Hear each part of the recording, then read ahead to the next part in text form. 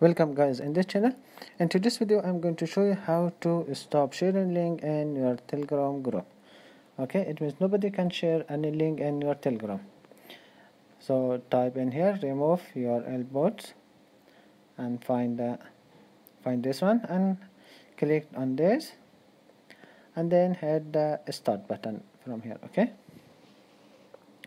What can this bot do this would remove all message from non-admin content URL. Admin can post URLs. This is to protect your group from scammers and spammer post link. It means uh, only admin can post any link, but the member can post any link in this group. Okay.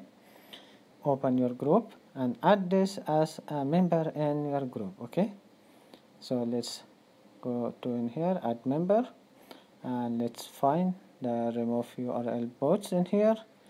To add this and my in my group. This one. And then add as a member in my group okay? And now I'm going to make admin this. Let's go to manage group. And then click to the administrator.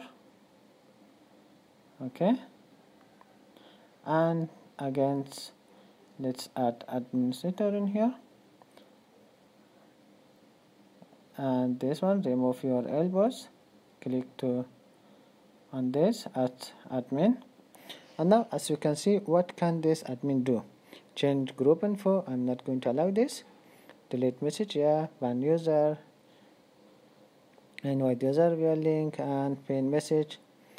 This is the option that you uh, choose which one is this uh, admin can do or this one not do. And then click to save okay?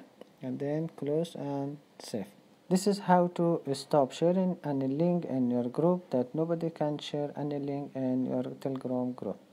Thanks for watching. See you in the next tutorial